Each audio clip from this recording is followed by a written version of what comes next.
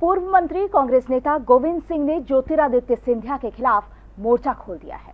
सिंह ने कहा, अब समय आ गया है उपचुनाव में लोकतंत्र के साथ सौदा और गद्दारी करने वाले सिंधिया परिवार के मुखिया को सबक सिखाया जाए।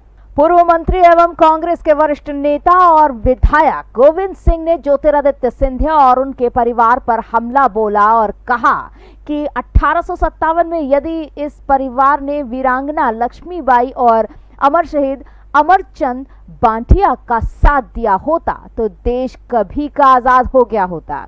लेकिन सिंधिया राज परिवार ने देश के पहले स्वतंत्रता संग्राम में अंग्रेज़ों का साथ दिया।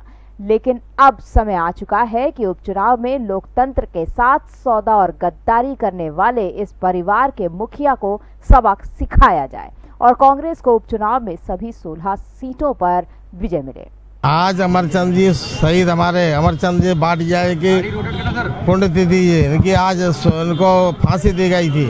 और फांसी में अंग्रेज़ों को के विरोध विद्रोह के करने वाले अमरचंद भाटिया ने ग्वालियर के खजाने को खजान जी रहते हुए तो महारानी लक्ष्मीबाई को सहायता पहुँचाने के दोष में सिंधिया खानदान ने यहाँ के महाराजा तत्कालीन और अंग्रेज़ों ने मिला के फांसी पर लटकाया था। वह वही स्थान है। आज उनको हम सब लोग, हमारे साथी कांग्रेस के भाई, उनको नमन करने आए हैं, उनके श्रद्धांजलि देने आए हैं और ऐसे बहादुर जन अमरचंद भाटिया उनके परिवार को मैं आज भी उनका स्वागत करता हूँ, जो यहाँ उपस्थित हैं और उनका अभिनंदन करता हूँ। ग्वालियर की जनता इस महान क्रांतिकारी की याद में जिस खानदान ने यहाँ से गद्दारी करके हमारी जनता की को फांसी, जन नेता को फांसी लगवाई, हमारे लोगों के साथ गद्दारी करके सैकड़ों क्रांतिकारी जो आज़ादी के लाइन भागी थे, भागीदार थे, महारानी लक्ष्मी जाई के साथ धोखा किया।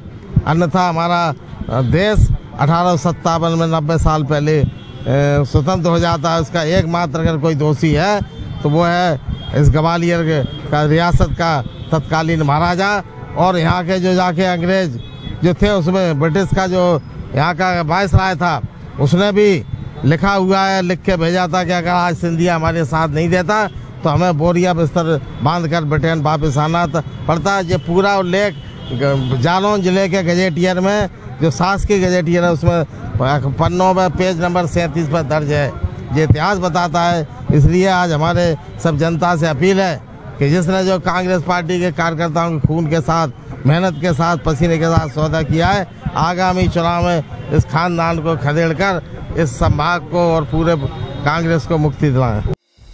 संगीत की स्वर लहरियों से सांस्कृतिक ताने बाने तक चंबल के पीड़ों से नक्सलवादियों के गढ़ तक झोपड़ी से महलों तक। ठेलों से मेलों तक। पगडंडियों से सड़कों तक। गाँव से शहरों तक। व्यापार से उद्योगों तक। राजनीति से कूटनीति तक। दखन न्यूज़। आपके हक।